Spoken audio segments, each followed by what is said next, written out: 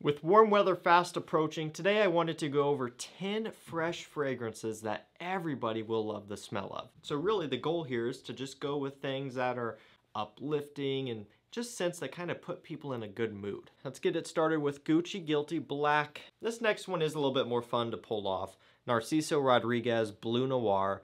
Up next we have the new Azzaro Chrome Parfum. Next up we have YSL Y this is the eau de toilette version. Uh, kind of switching gears over to a much more affordable scent. We have Kenneth Cole Mankind Legacy. And you gotta love this guy here, Dior Homme Cologne, Ferragamo Acqua Essenziale Blu. Next up, Montblanc Legend Spirit. Starting to run down to the end here, second to last, we have Bentley for Men Silver Lake. And last scent for this video, we have Carolina Herrera Virgin Mint. Pops off, it smells amazing, it's very refreshing.